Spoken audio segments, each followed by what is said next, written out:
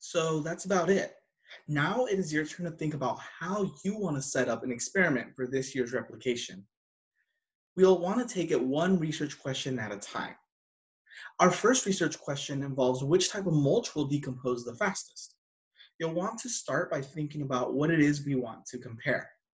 What two conditions do you want to include in our experiment based off of our research question?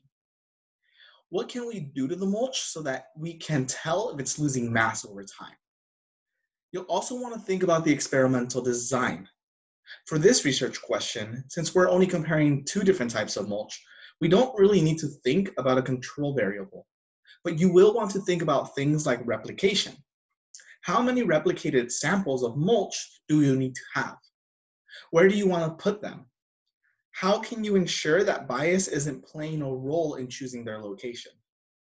Advance to the next slide and use the Science Notebook page to plan out your design for your first research question.